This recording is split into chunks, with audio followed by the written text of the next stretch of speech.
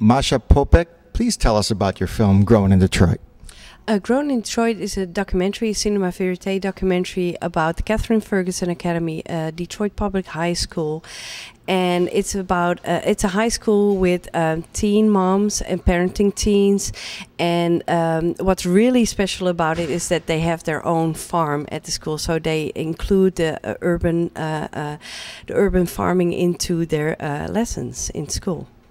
Now, so the film's based on the urban farming. It's based on the urban farming, but it's it's basically a slice of life in Detroit. So because you cannot say it's just urban farming, it's it's hopefully you know it gets different multi-layered uh, themes within the film. Uh, hopefully, the audience will get that from it.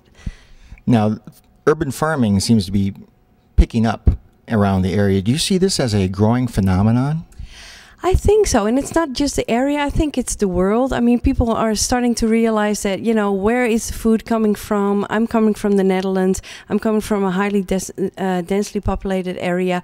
And I realize that my kids don't know where, you know, the carrots or the food are coming from. So it's not just uh, Detroit, it's all over the place. But I think Detroit has the opportunity to do it. How cool would it be, you know, to be a a farmer on tarmac, you know, and still have the really nice things that the city brings, like going to a ball game or going to the opera. It's all possible down here. Now, the girls that participated in the Catherine Ferguson Academy's urban farming program, how are they doing now? Uh, you know, it's not for everybody. Uh, me myself, I'm I'm a filmmaker. I'm not an urban farmer, so uh, not all the, the, the girls will you know pr- uh, pursue uh, a career as being a farmer. But we have girls being a chef. We have girls, you know, uh, doing their own gardens and going to Eastern Market, selling their their produce at the Grown in Detroit stand, things like that. So it's really good to see that they're picking it up and they're literally going back to the roots. So that's really nice. Yeah. What's next for you? What's next for me? Ooh, uh, well, I'm here in uh, in Detroit with my family for you know for this summer for two months, and we're hoping you know to uh, to come down and move to Detroit because we just love it here. What a city, you know.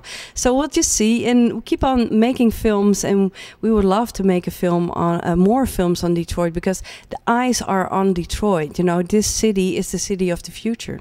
What piece of advice would you have for a filmmaker considering a career in the Michigan film industry?